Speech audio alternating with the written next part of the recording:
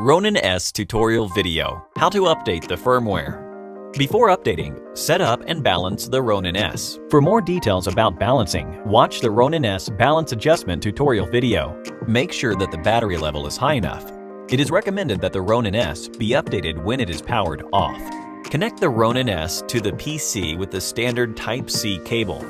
Launch DJI Pro Assistant for Ronin and log into your DJI account.